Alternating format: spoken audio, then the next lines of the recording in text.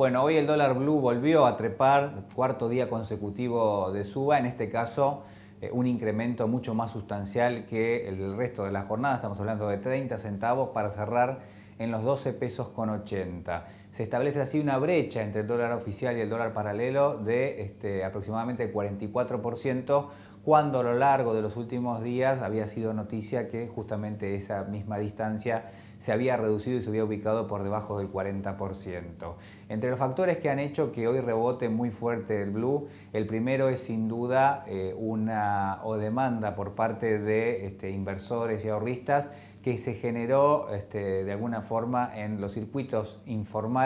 a raíz de lo que había sido la baja previa de este, las últimas jornadas y entonces al eh, reconocer en el dólar blue una especie de piso en torno a los 12 pesos con 30, fue allí que aparecieron este, algunos ahorristas y este, prácticamente generaron una demanda espontánea que terminó eh, eh, incrementando lo que es la cotización del billete. Pero por otro lado, tenemos que hablar también de este, una caída en la demanda de lo que es el dólar ahorro. Recuerden ustedes, el dólar ahorro es prácticamente una de las razones sustanciales por la cual en algún momento el dólar blue cayó. ¿Eh? a partir de lo que era la compra de dólares ahorro en ese mercado que autoriza la FIP y la venta simultánea en el mercado del dólar paralelo que hacía que el exceso justamente de oferta provocaba el descenso de los precios. Bueno, justamente este mecanismo es el que dejó de funcionar en estos días porque los pesos que provenían obviamente de la liquidación de los salarios de principios de mes bueno, este, se fueron estirando este, algunos días bien entrado abril, pero de todas maneras en esta semana se cortó lo que era justamente la afluencia de pesos a ese mercado, el mercado de, este, de dólares, por parte de lo que tiene que ver con las autorizaciones de la FIP,